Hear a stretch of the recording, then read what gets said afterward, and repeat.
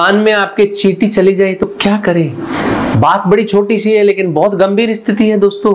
कान में अगर आपके चीटी चली गई तो हमें क्या करना चाहिए? क्योंकि दोस्तों, अगर कान में आपको चीटी अगर चली जाती है तो जानलेवा स्थिति हो जाती है। क्योंकि चीटी छोटी सी है, लेकिन एक हाथी को भी परेशान कर सकती है।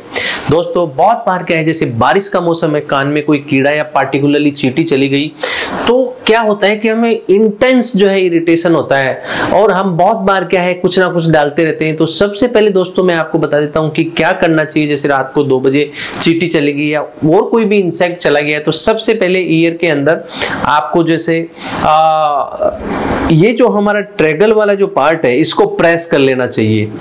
एटलीस्ट उसको प्रेस कर लेना चाहिए, या उससे बिफोर उससे क्या है ऑयल या कुछ भी डाल के फिर इसको दबा लेना चाहिए।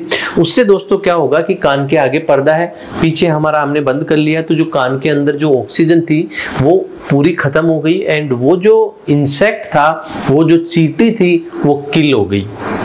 तो किल होने से क्या होगा? उसके जो मूवमेंट थे वो रुक गई। क्योंकि दोस्तों, कान बहुत सेंसिटिव होता है। जब कोई भी इंसेक्ट या चीटी अंदर पर्दे पे चलती है तो जानलेवा बन जाता है। डॉक्टर अवेलेबल नहीं होता। आप रिमोट एरिया में हो रूरल एरिया में हो, रात को दो बजे डॉक्टर नहीं है तो आपको सबसे पहले उसको किल कर लेना है, जिससे उसकी मूवमेंट नहीं हो।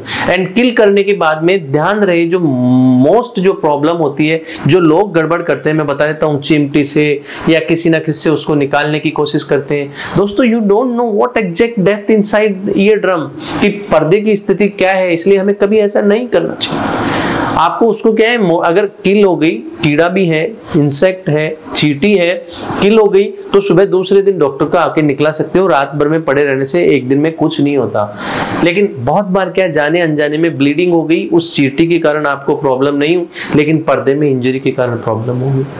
इसलिए आपको क्या है, कोई भी कान के अंदर अंदर जो है आपने ऑयल डाल के एंड जिससे उसके मूवमेंट नहीं हो पाएँगे एंड आपको इसको प्रेस कर लिया प्रेस करने के बाद अंदर वो किल हो गया, उसके बाद उसको जब पेशेंट हमारे पास आता है तो एक वैक्यूम क्लीनर होता है। एक उससे वैक्यूम वाले से उसको दोस्तों बिल्कुल निकाल दिया जाता है अंडर एंडोस्कोपिक मैग्नीफाइंग व्यू में जिससे क्या है हमें दिक्कत नहीं होती है। ईयर को वॉश करके एक ऑइंटमेंट लगा दिया जाता है जिससे हमें दिक्कत नहीं होती है। सो so, दोस्तों ये बड़ी महत्वपूर्ण बात है कि कान के अंदर अगर चीटी चली जाए तो हमें क्या करना चाहिए? अननेसेसरी जो है उसको निकालने की कोशिश नहीं करनी चाहिए क्योंकि आप उसको निकाल नहीं पाएँगे और कान में इंजरी हो जाएगी।